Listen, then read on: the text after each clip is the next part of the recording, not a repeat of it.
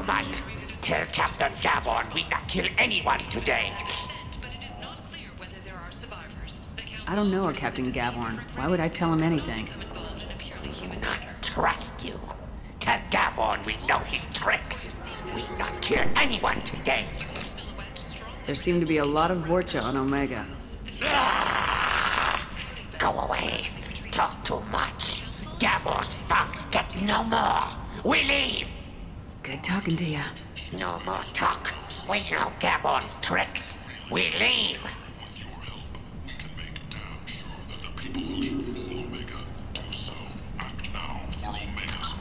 T2 tax evasion. You've in custody pending sentence. Hello there.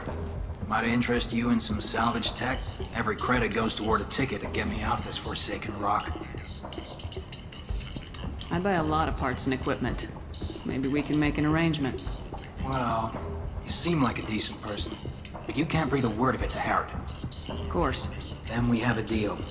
Maybe I'll at least sell something to you. What brought a nice kid like you to Omega? My pilgrimage. What money I had got stolen within a few days, so I decided to sell salvage parts.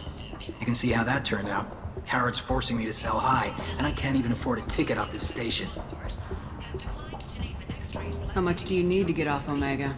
I still need 1,000 credits to pay my way, but I couldn't let you do that. This is my mistake on my pilgrimage. It's my problem. Is on its colonial seal. The commander's family was killed. Why does Harrot control your prices?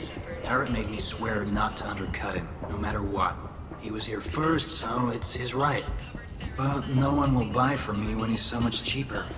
I can't save enough money for a ticket off the station.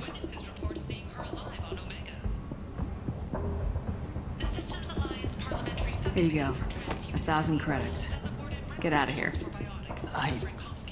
Thank you.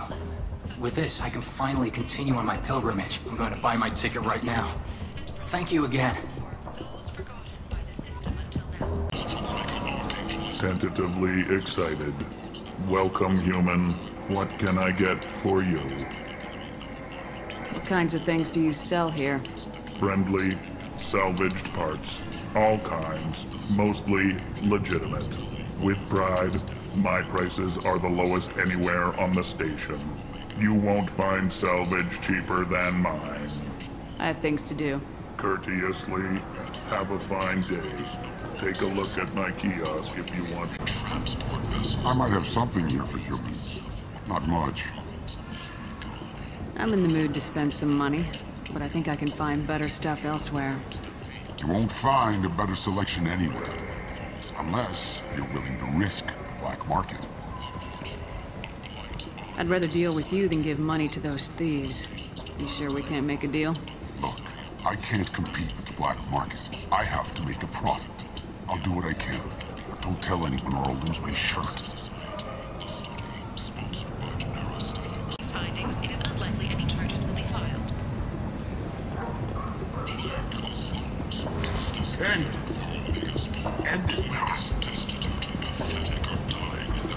this. A blight on galactic purity.